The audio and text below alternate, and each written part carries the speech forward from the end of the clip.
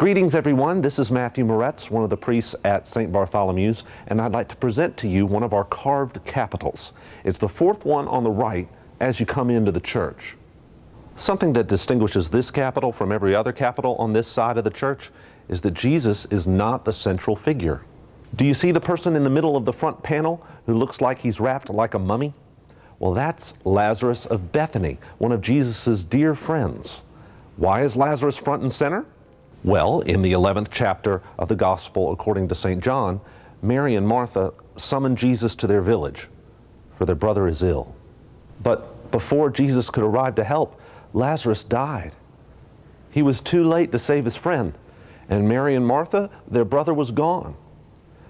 And so, as was their custom, they pushed through their tears and wrapped their brother in cloth and laid him in a cave. On the outer panel of the Capital, you can see Mary and Martha weeping for their brother and laying him inside a candlelit tomb.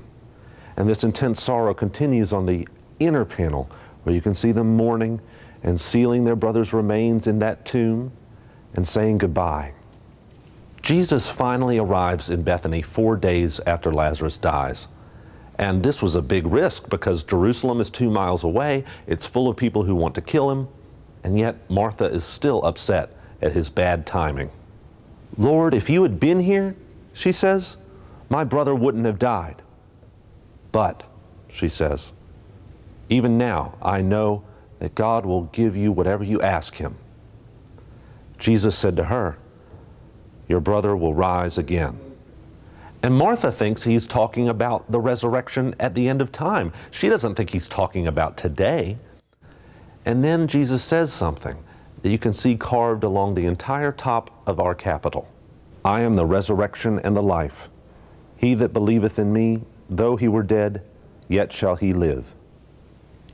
He then goes on to say, And anyone who lives and believes in me will never die. He then says to Martha, Do you believe this? And Martha says to Jesus, Yes, Lord. I believe that you are the Christ the Son of God, the one coming into the world. After this, Martha fetches her sister Mary, who is still cross with Jesus. Jesus asks them if they could take him to their brother's grave. And they do. And there, Jesus cries. But he also says something else. He asks them to remove the stone from his friend's tomb. Despite the stench, they do it. And then Jesus yells, Lazarus, come out. Then, like nothing they had thought possible, the sisters watch as their brother emerges from the tomb, wrapped in the same cloth that they had bound him in. Then Jesus says to the sisters, Unbind him and let him go. And Lazarus lives.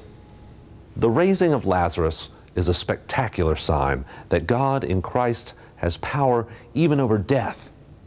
Whatever Jesus is up to in the world, death cannot destroy it. The grave can't hold it. And life springs forth from his presence, even for his friends who are in the tomb.